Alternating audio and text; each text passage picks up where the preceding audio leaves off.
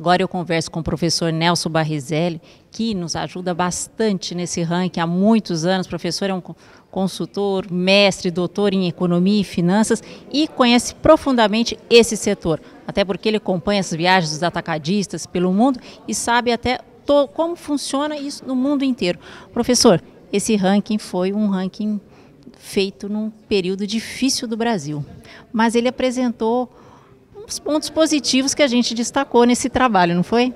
Foi, sem dúvida alguma. A situação é uma situação complexa, mas nós vimos crescimento tanto dos canais de distribuição que são atendidos pelo atacado, como um crescimento do atacado além daquilo que poderia se esperar numa situação como essa. O que, que, a gente pode destacar? Porque esse ranking a gente até mudou, vocês vão ver a revista aqui, olha a revista, vou mostrar agora. A gente fez algumas mudanças, né, professor, que foram as tabelas, e a gente se debruçou bastante nesse trabalho. O professor até esteve conosco várias vezes para entender, para fazer um trabalho bem feito. Professor, o que, que a gente destaca positivamente? Basicamente, eu acho que o que nós, o que nós vimos é a maneira pela qual o atacado está se distribuindo no Brasil. Nós vimos crescimento na região centro-oeste, crescimento na região nordeste, o que são excelentes notícias, porque na região centro-oeste, apesar de toda a crise, ela cresce em função do, do agronegócio, e na região nordeste, apesar de toda a crise, ah, o, o trabalho social que o governo tem feito tem dado resultado.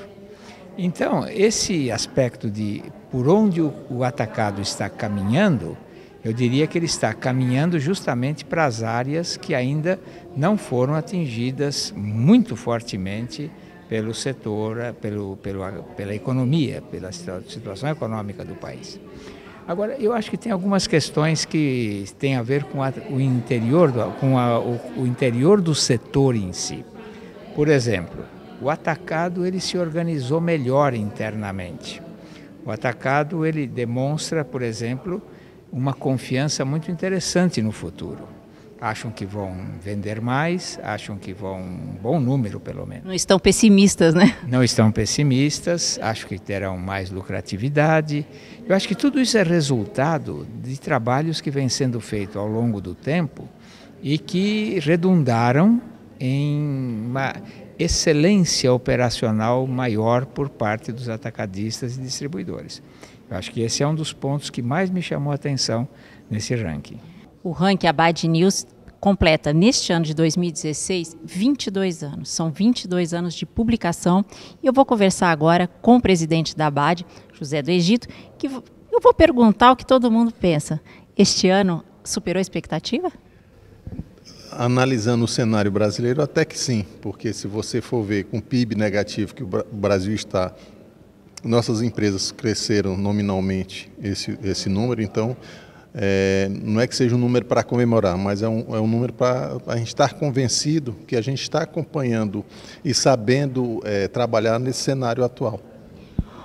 Analisando o setor, presidente, podemos dizer que o, o setor hoje está amadurecido? Com certeza. Você vê que pelo número de respondentes do ranking, todo, todo ano vem crescendo.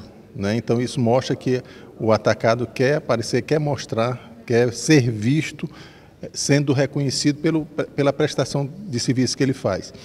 Ah, o ano de 2015 foi muito difícil para todos os setores, não só foi para o nosso setor, mas fez com que nós, atacadistas e distribuidores, nos focássemos dentro das da nossas gestões, nos preparássemos melhor, que melhorássemos as nossas demandas, os nossos atendimentos, e isso fez com que a gente conseguisse passar num quase né, cenário positivo o número do ranking, a gente pode falar, são 544 respondentes, 218,4 bilhões. Isso aqui é uma amostragem. O setor atacadista atende mais de um milhão de pontos de venda em todo o país. A gente pode dizer que é um serviço que não tem quem faça. Não, não tem quem faça e por isso que eu acredito que o nosso setor ainda vai continuar é, por muitos e muitos anos. Atender o Brasil, que são vários países dentro de um, de, um, de um Brasil só. Então, o papel do atacadista distribuidor, que é levar os produtos de primeira necessidade, higiene pessoal, alimentação, limpeza, para todos esses 5.570 municípios, a gente vai conseguindo ter espaço, sim, de prestar esse serviço para o nosso varejo de vizinhança, fazendo capacitação com eles, eles estão preparados para concorrer com grandes plays internacionais. O ranking Abad News 2016 já está lançado, todo mundo já sabe. Os números são 218,4 bilhões de reais, 544 respondentes. Isso é uma amostra.